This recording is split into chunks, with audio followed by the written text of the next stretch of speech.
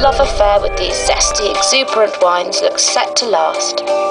The aromatic fruit flavours are instantly recognisable and universally loved, matching fish or vegetables like asparagus with ease. The Sauvignon that I've chosen is called Rabbit Row.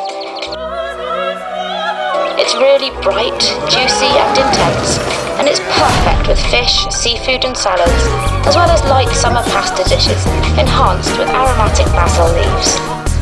Our Rabbit Row Sauvignon Blanc. Cheers!